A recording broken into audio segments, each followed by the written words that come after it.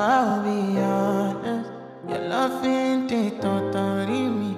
I am so obsessed. I want to chop your kwabi ule. Your body de baka